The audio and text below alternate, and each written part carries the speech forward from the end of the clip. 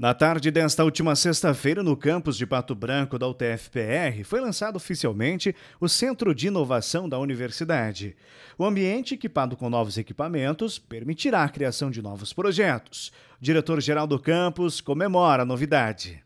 É um prazer poder sempre consolidar né, um, um, primeiro, um passo dado por nós, como a gente explicou antes ali, é, isso começou há muitos anos atrás.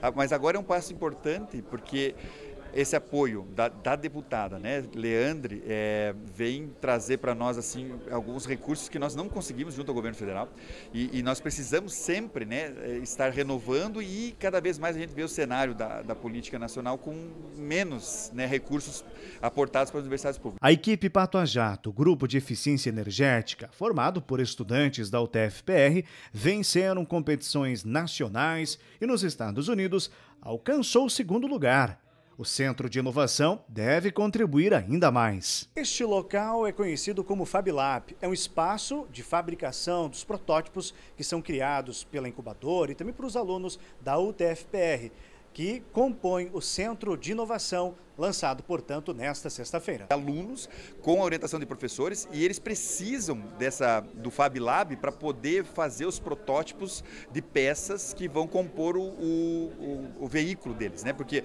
o veículo, se, se ele for um veículo bem projetado, aerodinamicamente e, e mesmo os motores, eles conseguem fazer, né? Então, os 700 quilômetros com litro de combustível, que foi isso que eles fizeram lá. Então, esse laboratório vai ajudar, por exemplo, isso mas pode ajudar, por exemplo, a fazer protótipos para auxiliar. Né, foi falado hoje sobre os idosos, né?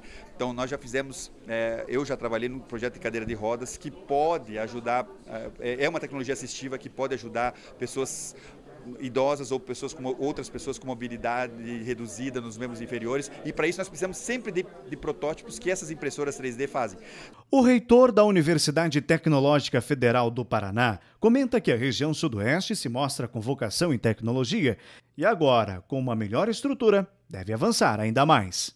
E aqui na região sudoeste, que é uma região muito desenvolvida na área de ciência, tecnologia e inovação, a criação né, desse centro de inovação é, a partir do apoio né, de parlamentares, do apoio da iniciativa privada, do apoio também da sociedade civil organizada, ele, ele na verdade é um marco que vai dar é, muito mais condições né, para que os já ótimos trabalhos que são desenvolvidos pelos nossos estudantes, orientados pelos nossos pesquisadores, é, possa, possa prosseguir. Então, nós temos hoje uma perspectiva né, bem maior, é, com inclusive a aquisição desses equipamentos de ponta, que vão permitir que nós é, avancemos, como bem você colocou, é, na, em projetos que até hoje a gente não consegue realizar.